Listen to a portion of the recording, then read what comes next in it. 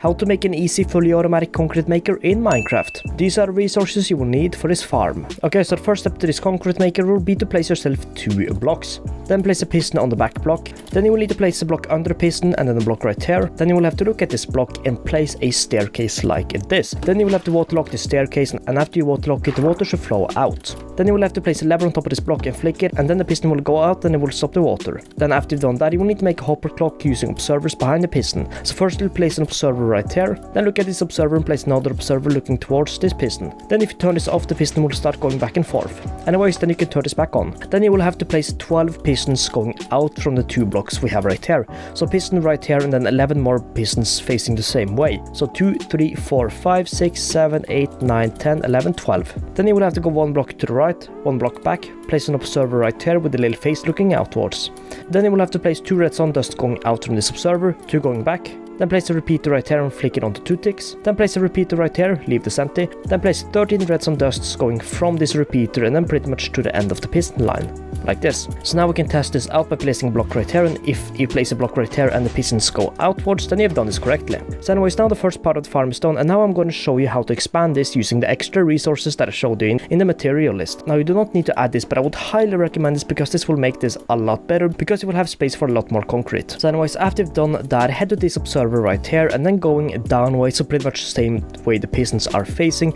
Go 11 blocks down. So 1 2 3 4 5 6 7 8 9 10 11 then mark this 11th block with a temporarily block. Then after you've done that you will need to place an observer right here with the little redstone eye looking your way and the little face looking kind of inwards the same way the pistons are. So pretty much the same you did over there. Then you will need to place two redstone dust going out from this. Place two to the left side then place a repeater right here place it on two ticks place another repeater right here leave it on 0 ticks. Then place two redstone dust going out here. Then you will have to break this block into the ground that's pretty much to the right of the second redstone dust. And then you will need to dig 11 more blocks to the left. 1, 2, 3, 4, 5, 6, 7, 8, 9, 10, 11. Then dig this one more in, so pretty much one more into the same way where the other pistons are like this. And then you will need to place 12 pistons on the inside right here. Then you will have to connect up all these pistons with redstone. So now we can test this out by placing a block in front of here. This should go up once boom, like this, and like this. Then after you've done that, you will need to place a temporary block on top of this redstone dust right here,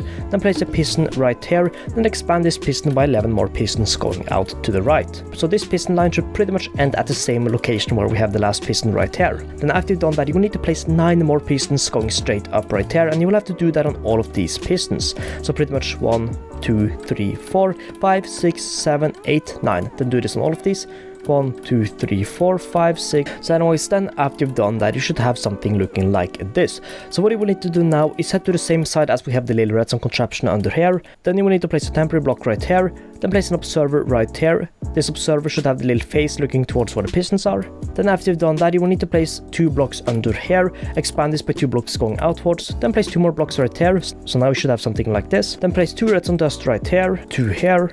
Place a repeater right here place it on 2 tick, another repeater right here, leave that on 1 tick. Then after you've done that, you will need to place a glass block right here, so pretty much in front of the block that has the repeater on it. Then you will need to place 12 blocks right behind the pistons. These need to be solid and hard blocks. Then go 2 blocks down, 1, 2, place another row of 12 blocks. Do the same right here, 1, 2 blocks one, two blocks, and then one last time at the bottom, blocks, like this. And again, remember, these has to be solid blocks. Then you will have to place redstone dusts on top of all of these blocks, like this.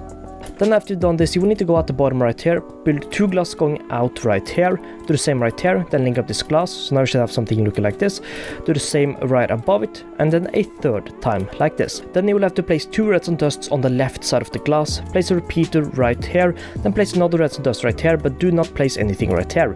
Then do the same on the ones at the bottom, two redstone dust right here, repeater, redstone dust, two redstone dust, repeater, and then one redstone dust. Then after you've done that, you will need to place a glass block going out from the redstone dust we have right here, do the same right above it, and then a third time right here. Then you will need to place redstone dust on top of all of these glass blocks. Then after you've done that, you will need to place a temporary block under the glass block we placed on the top right here, place a glass block going out from that block, then place another glass block under that block, then destroy that temporary block, then place a redstone dust right here and another one right here. So now if we head on top of here and place a block in front of this observer, most of the pistons should go forward, at least the top four, as they are doing. Then you will need to head behind here again and then place a glass block right here. Going out from this glass block we have right here.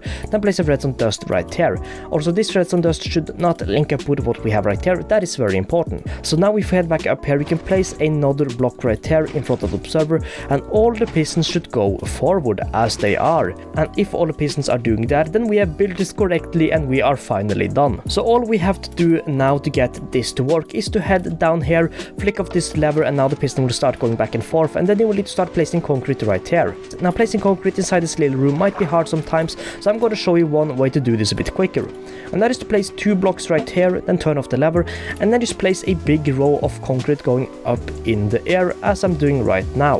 Then head back down here, flick off this lever again and then the concrete will start getting pushed forward and turning into concrete powder or sorry, hard concrete I mean. But of course doing it this way, sometimes the concrete will drop onto the ground and break, but it won't happen always. And as you see right here, sometimes the powder will stay powder and not turn into concrete, but that might depend on how laggy the game is and how many chunks are rendering and stuff like that in entities, simply because the water doesn't load fast enough to, you know, hit the concrete. But anyways, now that this is over, you can simply just place some more blocks right here. You can go as high as you want, head back down, turn on the lever, and this will start turning into more concrete. So now the concrete is about to reach the end, so if we just place some blocks here just to help it out, one more, boom, this gets pushed forward, and as you might have seen, whenever the concrete reached right here, it got pushed upwards because of this observer right here. So if I dig myself into here and place more concrete here just to show you the demonstration, place it here and reach all the way at the end, we're gonna jump out of here, place a concrete right here, this gets pushed upwards.